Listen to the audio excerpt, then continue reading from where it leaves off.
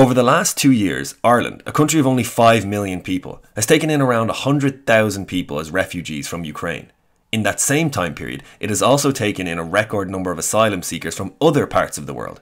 Combine this with a housing and cost of living crisis, and the usually incredibly welcoming and charitable disposition of the Irish people has reached its breaking point. This was highlighted in a recent Red C poll that showed a whopping 75% of Irish people think we've taken in too many refugees and want the number of arrivals reduced or stopped entirely. So when Micheál Martin, the Taoiseach, was asked a very basic and good faith question in a recent radio interview about what is one of the most pressing issues in the country, immigration, he responded by insulting the host, saying any anti immigration sentiments are shocking, anyone who wants to restrict immigration has no humanity, and basically flat out said that it isn't possible to reduce immigration. Let's break this down. The host introduced the issue by asking him a fairly standard question about immigration because he says it's the most requested question by his listeners. Loads I've asked people to text, and over and over again, it's the open border policy. Over 94,000 Ukrainian refugees with all of the trappings that are entitled to them, even though they're not part of the European Union. But the international protection order applications are up 186% since 2019. 61% of those coming into the country have no documentation. Um, and they get and they're an immediate cost to the state. They're coming from countries that would be regarded as, as quite safe. And people are very, very worried or angry or annoyed that that kind of money is being spent when it could have been spent helping Irish people if you had the will to do it before the war in the Ukraine. Martin hems and haws a bit and then asks the host what he would do. Well, what would you do? What would I do? No, so I'm just yeah. I would I'm- close the borders. That's shocking. Why? Have you any humanity? First thing to note is this is a textbook deflection tactic from a very experienced politician. See, instead of actually having to answer the difficult question he was asked and explain any solutions or answers the government has to this massive societal issue, he asked the host what he would do. He does this so he can go on the offence and attack any errors or holes in the host position and thus come across as competent, informed, and benevolent on the issue while providing no answers himself. He has put the host in the position of answering the difficult question he himself was asked. It's a clever move, however, it reveals Martin has actually no answers on the immigration issue at all. All he can do is attack people who disagree with him and deflect the questions. That's shocking. Why? Have you any humanity?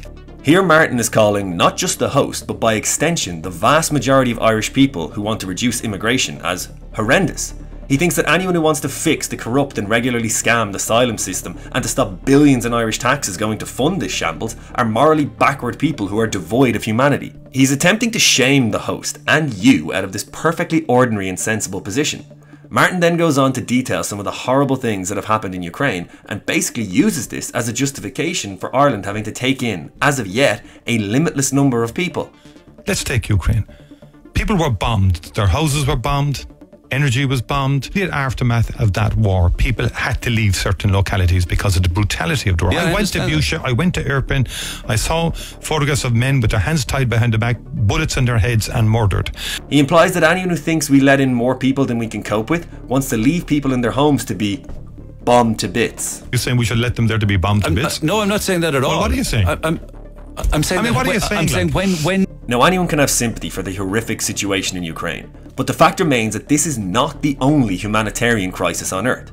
As of now, there are an estimated 1 billion people living on less than $1 a day, 700 million people in extreme poverty. According to the 2022 Global Report on Food Crises, in 2021, 193 million people experienced food insecurity at a crisis level or worse, and an all time high of 49 million people are at risk of falling into outright famine.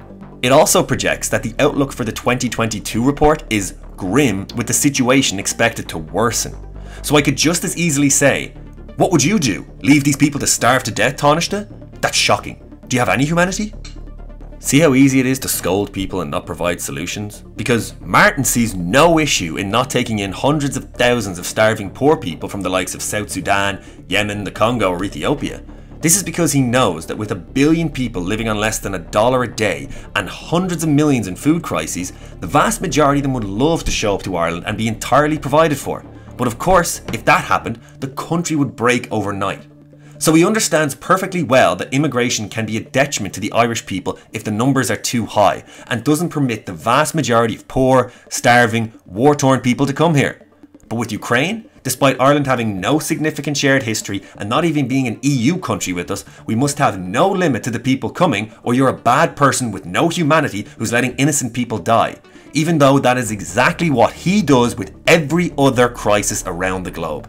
And if this wasn't enough, Martin also goes on to say that it's basically impossible to stop immigration anyway, and that we are essentially powerless, so we should just get used to it. International protection orders No, is an open no, border but if it's they not- can it's- if look, they come in without yeah, documentation. That's all kind of simplistic stuff. We had that in Britain with conservative parties saying we'll do this and we'll do that. They couldn't stop any migration. You know why? People will do anything to leave some of these countries because of war, because of conflict. So, because the Tories never actually wanted to reduce immigration and lied to the public about it to get votes, then Ireland cannot have borders. Even though countries that aren't islands and have much harder borders to defend, like Poland and Hungary, seem to manage it quite well. How many refugees has Poland taken? Zero. And you're proud of that? If you are asking me, if you're if you are asking me about Muslim uh, Muslims illegal immigration, none, not even one, will come to Poland. And when the host asks Martin to do his job and actually represent the best interests of the Irish people who elected him and say we can't do any more as immigration is too high to cope with, he says, but it's hard. I'm saying. I mean, that- what are you saying? I'm saying, saying when when do you say enough is enough? I'm But saying that I'm saying that people. Yeah. I'm sorry, say that again? I'm But saying that I'm saying that people. Oh, is it hard? Do you have to make a tough decision? Well, I'm so sorry for you. How on earth could you have known being the leader of an entire country might entail actually having to make the occasional hard decision? This is what your job is. You've been the Taoiseach before. You're the Taoiseach now. You're running to be Taoiseach again. And your best response is to say, it's hard? To say no to unlimited migrants into a small nation? Jesus, man, there's bad answers, but this is this is just pathetic. But luckily for Martin and every politician in the Irish government, when all of the disingenuous non arguments against mass immigration fail them, there's always one ace in the hole they have. One surefire argument that can justify unlimited immigration and win any debate. And that, of course, is of international obligations. We have international obligations on in line with our international obligations, with international obligations. and we have international obligations. our international obligation. international obligation. have international obligations. national legal obligations. Our international obligations. National obligations. Ah, yes, international obligations. Has there ever been a more perfect summation of everything that is and has been wrong with this country for decades? The elevating of international obligations by policymakers as their primary concern shows where their true allegiances lie. You don't live in a sovereign nation with its own goals, identity, and self interest. You live in a vassal state where the needs of global elites, the supranational bodies like the EU and the UN, and global finance will always take precedence over you. It doesn't matter that 75% of the population that politicians are elected to represent are against the policy. Of international obligations. It doesn't matter that housing is unaffordable and in chronic shortage.